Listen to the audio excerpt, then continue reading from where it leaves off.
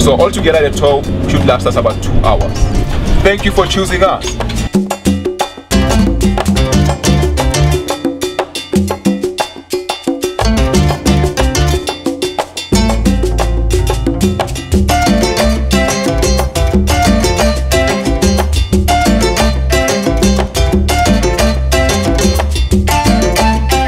We have to do this tour because uh, this tour does not only get you to, to know about the lifestyle of Soweto and, and to see how people live in Soweto, but it also gives you a little bit of, of, of history as well that took place here in this area.